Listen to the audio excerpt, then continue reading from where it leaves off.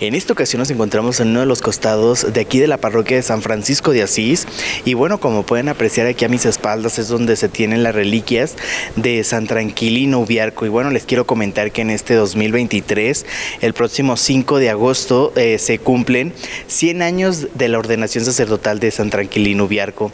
En grandes rasgos les quiero compartir parte de la vida de San Tranquilino. Eh, San Tranquilino Ubiarco nació en Zapotlán el Grande el 8 de julio de 1800 99.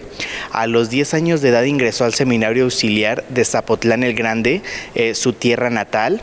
El 5 de agosto de 1923 recibió la ordenación sacerdotal.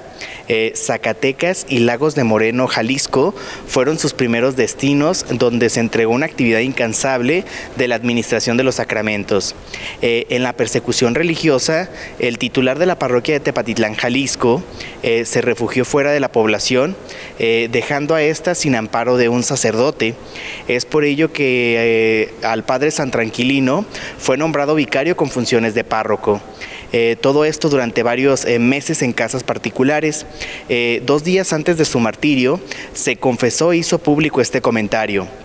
Ya me voy a mi parroquia a ver qué puedo hacer y si me toca morir por Dios, bendito sea. la noche del 15 de octubre de 1928, varios soldados lo aprendieron al padre San Tranquilino y lo recluyeron en un calabozo. Eh, dos horas después lo hicieron compadecer ante el coronel José Lacarra, quien decretó el acto de pena de muerte.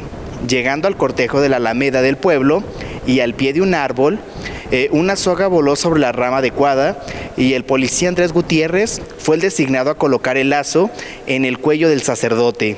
El padre Ubiarco lo exhortó a que cumpliera lo ordenado lo bendijo y bendijo la cuerda que iba a ser el instrumento a la entrada a su gloria. Y pues bueno, pues les comento que eh, San Tranquilino fue beatificado en Roma el 22 de noviembre de 1992 y canonizado el 21 de mayo del año 2000 por el Papa San Juan Pablo II. Eh, y comentarles que para todas aquellas personas que quieran conocer más acerca de, de, este santo, y bueno, así que si tienen la oportunidad y quieren conocer más acerca de, este santo, aquí en la parroquia de San Francisco de Asís se ubican sus restos y se está construyendo un templo en donde perdió la vida este santo, San Tranquilino Ubiarco. Con imágenes de Juan García para CNT, informó Ángel Pérez.